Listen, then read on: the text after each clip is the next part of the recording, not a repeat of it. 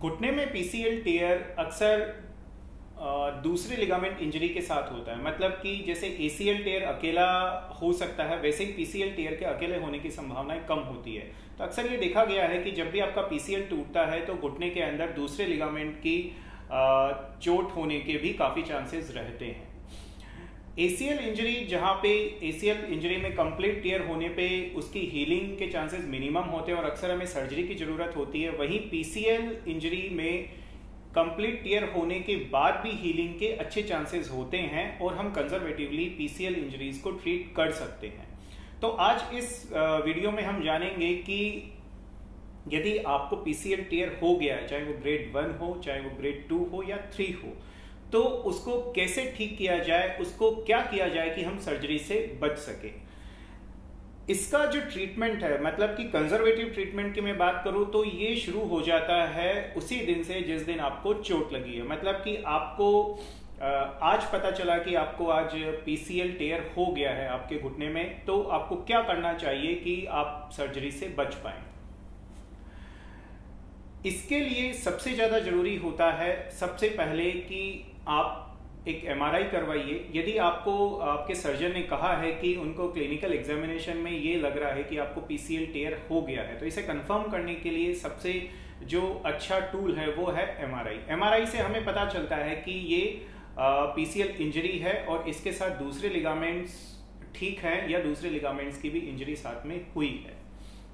अब यदि आपको पीसीएल इंजरी हो गई है तो इसमें सबसे पहले हम इसको ग्रेड करते हैं। ग्रेड वन है टू है या थ्री है, क्योंकि ट्रीटमेंट जो प्रोटोकॉल है, वो ग्रेड वन टू और थ्री के हिसाब से डिफरेंट होते हैं। यदि आपको ग्रेड वन इंजरी है या ग्रेड टू है या थ्री है तो कुछ चीज़ें हैं जो इसके ट्रीटमेंट में सेम रहती है। उसमें से सबसे पहले और ज़रूरी है, वो है इमोबिलाइजेशन मतलब कि घुटने को रेस्ट दी जाए।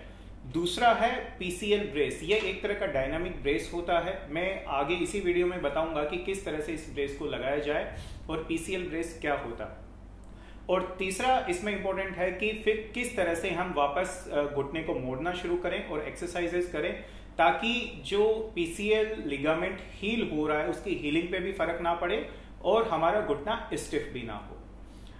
तो ट्रीटमेंट शुरू होता है फ़र्स्ट डे से आपको पता चला है कि आपको पीसीएल इंजरी हो गई है तो सबसे पहले इसकी ग्रेडिंग करते हैं। ग्रेड वन हुआ है तो हम घुटने को इमोबिलाइज रखेंगे टू वीक्स के लिए। ग्रेड टू हुआ है तो हम इसको इमोबिलाइज रखेंगे थ्री वीक्स के लिए और ग्रेड थ्री या कंप्लीट ईयर में हम इसको इमोबिलाइज रखते हैं फोर वीक्स के लिए।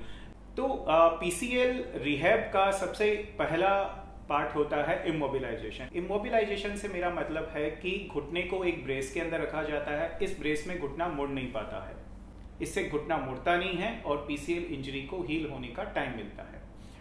फिर नंबर दो आता है कि पीसीएल ब्रेस कैसे लगाया जाए।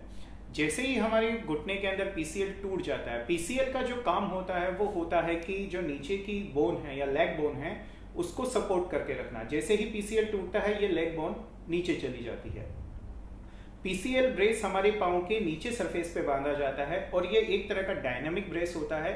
इसका काम होता है जब भी हम घुटना मोड़ते हैं तो ये लेग बोन को ऊपर की तरफ़ पुश करके रखता है। मतलब कि ये जो लेग बोन है, इसको नीचे नहीं आने देता, जो कि पीसीएल इंजरी होने के बाद नीचे आने की लेग बोन में टेंडेंसी रहती है। तो इस तरह से पीसीएल ब्रेस का आ, काम होता है लेग बोन को सपोर्ट करना और उसे पीछे जाने से रोकना। आप ये वीडियो में देख सकते हैं ये एक तरह का आ, इसमें पीसीएल ब्रेस दिखाया जा रहा है। पीसीएल ब्रेस एक डायनामिक ब्रेस है। इसमें जो ये आ, आप पीछे की तरफ़ स्ट्रेप देख रहे हैं इसका काम होता है लेग को आगे की तरफ़ पुश करके रखना। तो जैसे ही आप घुटना मोड़ते हैं ये आपके लेग को आगे की तरफ़ एक फोर्स देता है और इससे आपका पाँव आगे की जो रिड्यूस पोजीशन में रहता है, आपका नी और लेग होता है, वो पीछे की तरफ़ नहीं आता है। पीसीएल ब्रेस आपको लगभग एक महीने तक लगा के रखना है। यदि आपको कंप्लीट टीयर हुआ है, एक महीने तक लगाने से नी में स्टिफ होने के चांसेस बढ़ जाते हैं। तो इस स्टिफनेस को रोकने के लिए हमें पीसीएल ब्रेस के साथ ही घुटने को मोड़ना भी शुरू करना होता है। आ, मैं अपने सारे पेशेंट्स को सलाह देता हूँ कि लगभग दो हफ़्ते के बाद वो मोड़ना शुरू करें और पहले महीने मतलब कि चार हफ़्ते होने तक हम उसको 90 डिग्री तक मोड़ सकते हैं। लेकिन मोड़ते हुए हमेशा ये ध्यान रखना है कि हमें पीसीएल ब्रेस या डायनामिक ब्रेस इसको पीसीएल रिबाउंड ब्रेस भी कहते हैं ये लगा के रखना है ताकि जो पीसीएल की हीलिंग है वो हेम्पर ना हो। तो ये कुछ इंपॉर्टेंट एस्पेक्ट्स हो गए पीसीएल को किस तरह से कंजर्वेटिवली ठीक किया जा सकता है। अब एक महीने के बाद जब आपका घुटना थोड़ा मुड़ने लग जाता है, उसके बाद फिर इसमें इंपॉर्टेंस होती है स्ट्रेंथनिंग एक्सरसाइजेस की। मतलब हमें घुटने को वापस वो मजबूती भी देना होता है, जो किसी भी लिगामेंट इंजरी के बाद घुटने की मसल्स की, के वीक होने से आती है।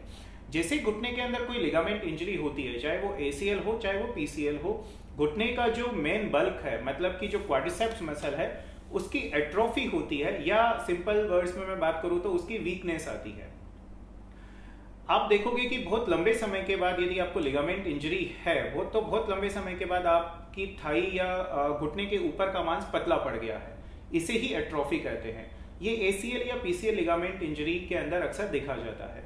तो इसको रोकने के लिए ये बहुत ज़रूरी है कि जैसे ही आ, कुछ समय के बाद जब हम ये हम आश्वस्त हो सके कि हमारी लिगामेंट की हीलिंग प्रॉपर हो रही है तो अब हमें स्ट्रेंथनिंग पे भी काम करना होता है। एक महीने के बाद आप स्ट्रेंथनिंग एक्सरसाइजेस शुरू कर सकते हैं और सेफली मैं अपने पेशेंट्स को कहता हूँ यदि उनमें कंप्लीट टीयर है कि छह हफ़्ते के बाद वो स्ट्रेंथनिंग एक्सरसाइजेस शुरू करें। तो इस कंडीशन में पीसीएल ब्रेस छह हफ़्ते तक लगा के रखें। और उसके बाद फिर छह हफ़्ते तक आपका जो रेंज है वो नब्बे से सौ डिग्री तक आ जाता है। उसके बाद फिर सबसे पहले जो एक्सरसाइजेस शुरू करते हैं, वो क्लोज काइनेटिक चेन एक्सरसाइजेस होती है।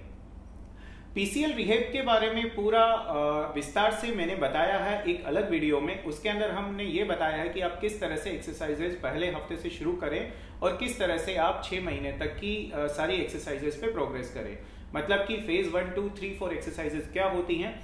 इन सभी एक्सरसाइजेस को देखने के लिए कि क्लोज काइनेटिक चेन एक्सरसाइजेस क्या हैं और उसके बाद आप स्ट्रेंथनिंग एक्सरसाइजेस में कैसे प्रोग्रेस करें ताकि आप अपनी रिकवरी को एंश्योर कर पाएँ और आपको सर्जरी की ज़रूरत भी ना रहे।